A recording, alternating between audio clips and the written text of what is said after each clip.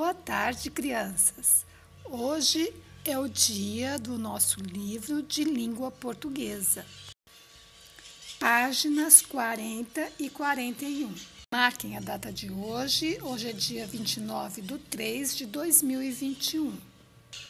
No dia 27 de março se comemora o Dia do Circo. E no circo existem muitas atrações. E uma delas é o palhaço. E na página 40 temos brincadeiras de palhaço.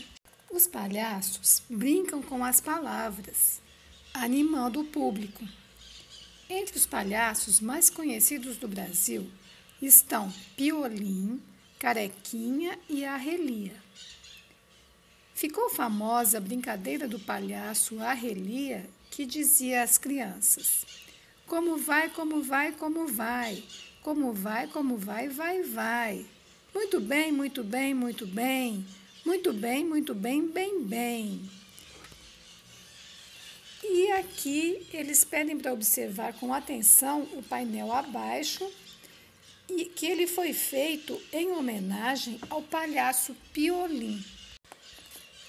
Quando a gente observa uma imagem, é importante que a gente saiba que o elemento que aparece no centro de uma imagem é sempre o de maior destaque da obra. A gente observa nesta obra que os dois palhaços da ponta não estão segurando instrumentos musicais. O que, que eles estão segurando? Nós vemos que o palhaço da direita segura uma flor e o da esquerda uma bengala. Na pintura foram usadas muitas cores. Quais cores foram usadas? Vamos ver? Foram usadas a cor azul, vermelho, verde, amarelo, preto, marrom e branco. Essas são as cores que nós vemos que foram usadas nesta pintura. E os sapatos? Como são os sapatos dos palhaços? O que você acha desses sapatos? São engraçados? Nós vemos que eles são bem grandes e retorcidos. A maioria deles nós vemos que tem duas cores. E de que modo o palhaço Piolim está vestido? Nós vimos que o palhaço Piolim é esse que está no centro. E nós vemos que ele está com um chapéu preto, com uma casaca vermelha comprida, com uma calça azul e com sapatos grandes.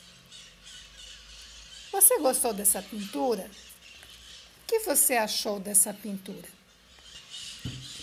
No exercício 1, diz: além de piolim, o painel retrata outros palhaços.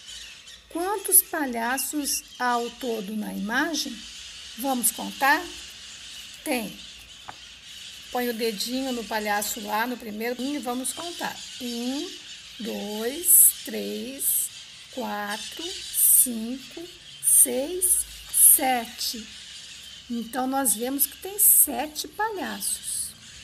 No exercício 2, o painel foi feito para homenagear especialmente Piolim.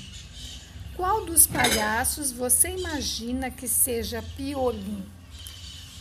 Nós vimos que geralmente o, o personagem que se destaca, nesse caso é o Piolim, fica sempre no centro, né?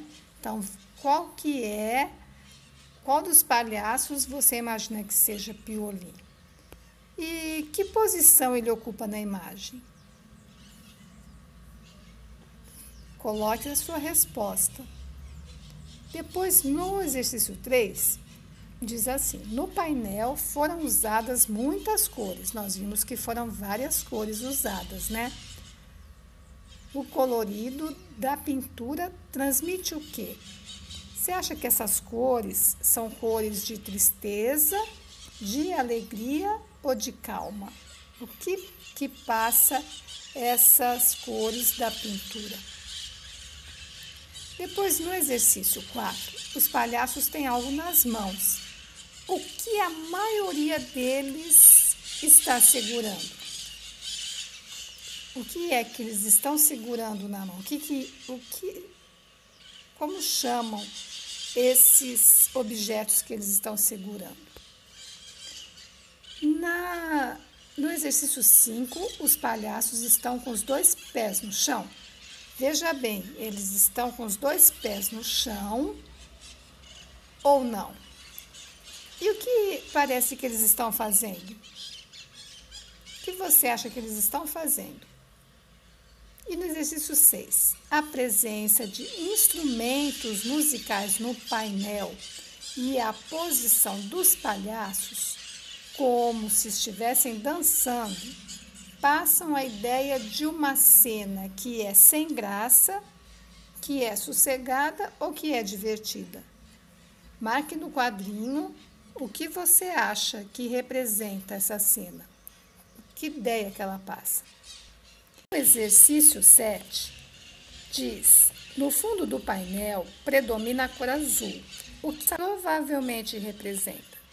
Você acha que essa cor está representando o mar, o céu ou uma parede?